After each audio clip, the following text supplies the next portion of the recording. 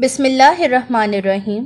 Now we will cover the exercise of chapter number 7 Sultan Ahmad Masjid. The theme of the chapter is to highlight the significance of the Islamic architecture. The world of Islam has a splendid heritage of art and architecture in which they excel throughout the history. Masajid have always been the prominent feature of the Islamic architecture.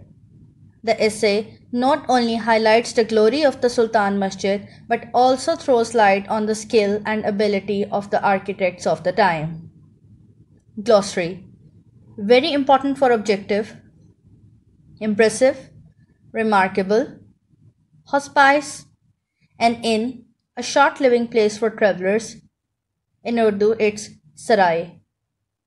Embellish, decorate, flamboyant, colorful, bright, interior, inside, carved, imprinted, adorned, decorated, appointed, selected. Consult a thesaurus and find out the synonyms of the following words. Embellish, decorate. Intricate, put together, complicated, splendor, magnificence, majesty, magnificence, illuminate, light up, brighten up. Circle the correct antonym for the given choices of the underlined words. Antonyms. These are the opposite words. We will have to choose the opposite words. First is the Sultan Ahmed Masjid is one of the most impressive monument in the world. Monument, impressive. Impressive, opposite is unimpressive. Unimpressive, option B. Second is situated in Istanbul, the largest city in Turkey. The largest. Opposite is smallest. Option A.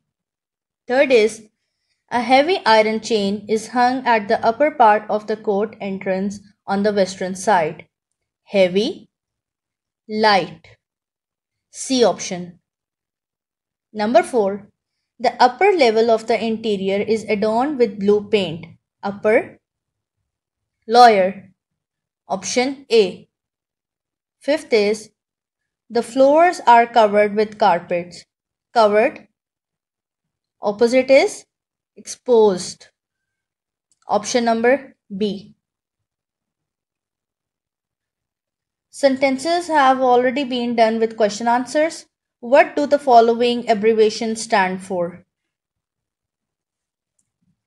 USA United States of America UK United Kingdom UAE United Arab Emirates ICU Intensive Care Unit, MBBS, Bachelor of Medicine and Bachelor of Surgery, PhD, Doctor of Philosophy, MPhil, Master in Philosophy, PAF, Pakistan Air Force, NADRA, National Database and Registration Authority, UN, United Nations, ISSB, Inter-Services Selection Board, WAPDA, Water and Power Development Authority, PTB, Pakistan Tobacco Board, Pakistan Technology Board or Punjab Text Board. MNA, Member of National Assembly, MPA, Member of Provincial Assembly, IMF, International Monetary Fund, WHO, World Health Organization, WTO, World Trade Organization, UNESCO, United Nations Education, Scientific and Culture Organization, UNICEF, United Nations International Children Emergency Fund Organization. The next question is place the adverbs at appropriate positions. The first is she comes here often. Often is the adverb of frequency. It will come after subject and before the verb. She often comes here. Sometimes another adverb of frequency comes after subject and before the verb. He sometimes goes to Lahore. The teacher was late. Hardly ever. Another adverb of frequency before the state and after helping verb. The teacher was hardly ever late. We are tired by the end of the day. It will come after helping verb and before the real verb. We are usually tired by the end of the day. Just after helping verb and before the real verb, I have just posted a letter to them. Carefully is the adverb of manner, so it will come at the end of the sentence. He did his work carefully. One more time. She often comes here. He sometimes goes to Lahore. The teacher was hardly ever late. We are usually tired by the end of the day. I have just posted the letter to them. He did his work carefully. The next question is degrees of comparison. Some adverbs like adjectives also have three degrees of comparison. For example, the masjid is so designed that even when it is most crowded, most crowded is the superlative degree of comparison of adverb. Everyone in the masjid can listen to and look at the imam. Another example is the masjid still remains to be one of the most visited. Visited, more visited, most visited, superlative degree. Monuments of the world. Complete this table with appropriate degrees of verb. Adverbs. Kept much, kept more, kept most. Sang beautifully, more beautifully, most beautifully slept little, slept less, slept least, looked good, looked better, looked best, arrived early, arrived earlier, arrives earliest. Use the above degrees of comparison in sentences as given in example. They came early this morning. They came earlier. He came earliest of all. He kept much patience, he kept more patience, he kept most patience of all. She drew a painting beautifully. She drew a painting more beautifully than her friend. She drew a painting most beautifully of all. She slept little, she slept less, and she slept least of all. He looked good, he looked better than before, he looked the best of all. Shehzad arrived early, Shehzad arrived earlier. Shehzad arrived earliest of all.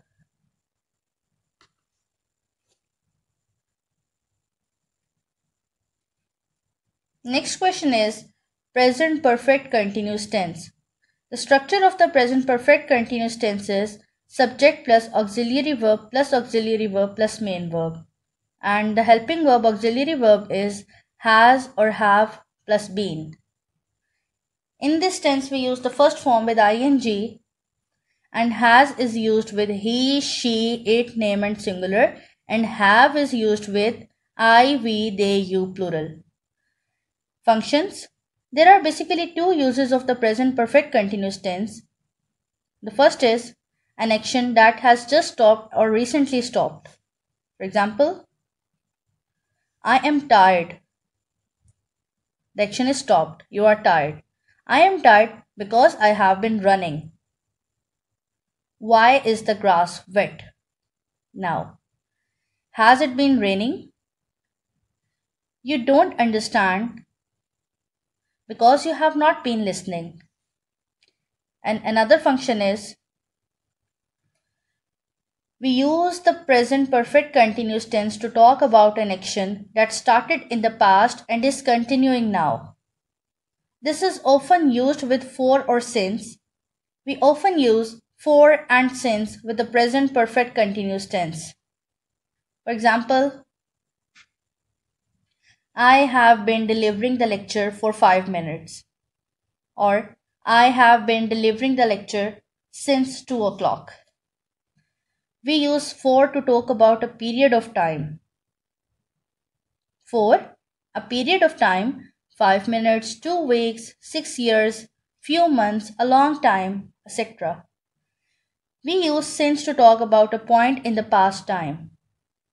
Or else we can say we use since when the starting time is mentioned. For example, 9 o'clock, 1st January, Monday, since I left the school, since I completed the book. For example, I have been reading for two hours. I'm still reading now. The action is still continue. We have been studying since 9 o'clock. We are still studying now. For how long have you been learning English? The action is still continue. You are still learning now. So, here we have an exercise. Put for a since, put for or since in the blanks. I have been studying for 3 hours. It's not the starting time, it is the duration. So I have been studying for 3 hours. I have been watching TV since 7 o'clock. Tara has not been feeling well for two weeks. Tara has not been visiting us since March. March is the starting time, accurate time. He has been playing football for a long time, a duration. He has been living in Bangkok since he left school. He left school is the starting time when he started living in Bangkok.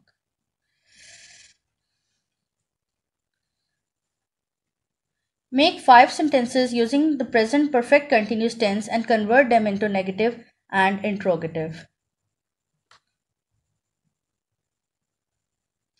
She has been studying for two hours. The boys have been making a noise for an hour. I have been solving sums since morning. Morning is the starting time and accurate time. The horse has been running very fast since 10 o'clock. We have been listening to the news for 5 minutes. Now convert these sentences, these affirmative sentences into negative one. She has not been studying for 2 hours. The boys have not been making a noise for an hour. I have not been solving sums since morning. The horse has not been running very fast since 10 o'clock. We have not been listening to the news for 5 minutes. For converting these sentences into interrogative one, we will have to put the helping verb have or has at the beginning of the sentence. Then after subject, we will put the other part of the helping verb that is been. It means that the helping verbs, the auxiliary verbs has been or have been will be placed like this. The subject will come between them. So the first sentence is have the boys been making a noise for an hour? Have I been solving some since morning? Has the horse been running very fast since 10 o'clock? Have we been listening to the news for 5 minutes? Has she been studying for 2 hours? Next question is Write down the summary of the unit. Focus on the following points. We will have to write a summary of Sultan Ahmed Masjid, which main points would be the history of the masjid, its architecture, and its importance. So the summary is Sultan Ahmed Masjid, also known as Blue Masjid, is one of the manifestation of Muslim art and architecture in the world. The masjid is situated in Istanbul, Turkey. It was constructed during the rule of Sultan Ahmed I. Sadafar Mehmet Agha, the royal architect, designed the masjid so skillfully that even today this masjid is considered unmatched in its size, majesty, and splendor. There is also a heavy iron chain hang in upper part of the court entrance on the western side of the masjid. The Sultan had to lower his head to avoid hitting the chain and also as the symbolic gesture to ensure the humility of the ruler in the face of the divine. The interior of the masjid is at the lower level is decorated with ceramic tiles in form of tulips whereas at gallery level these designs represent flowers and fruits. The upper part is adorned with blue paint Mihrab is made of carved marble. The masjid is so designed that even when it is most crowded, everyone in the masjid can hear and see the imam. Four minarets on uh, corners represent the height of the glory of the Muslim architecture. The masjid has become public place for the tourist. Mihrab is the most important element of the interior of the masjid, made of carved marble. A large number of visitors and Turks gather in the park facing the masjid to hear the call to the evening prayers. The masjid still remains to be one of the most frequented monuments of the world. Describe in your own words the architecture of any historical place in Pakistan. This is your activity. You will have to search out any historical place and uh, write down a little article on it. So the exercise along with the chapter all are very important and main focus uh, should be on translation, question answer, sentences and objective exercises. May you all stay safe. Jazakallah.